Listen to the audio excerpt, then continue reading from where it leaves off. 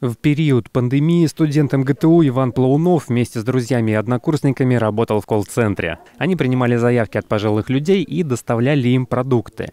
Несмотря на учебу и личную жизнь, Иван практически каждый день приходил в волонтерский центр, обрабатывая более 50 звонков в день.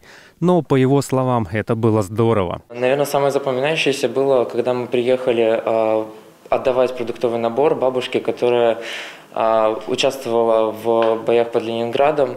Она нам рассказала свою историю. А, это было очень искренне. Она, ну, видно, что ей не с кем было поговорить.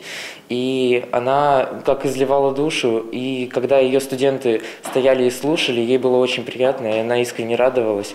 Она нам рассказала свою историю, еще и пыталась угостить шоколадками. Добровольческое движение для самих волонтеров – это в первую очередь возможность обменяться своей добротой и искренностью, возможность пообщаться и словами, и душой.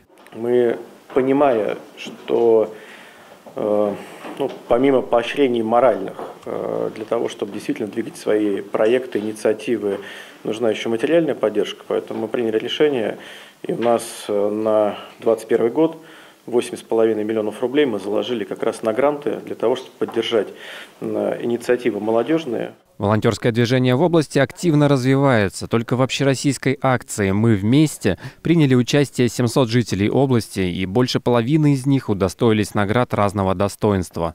Леонид Курлович, Всеволод Краснов, Виталий Попков, ТВ-21+.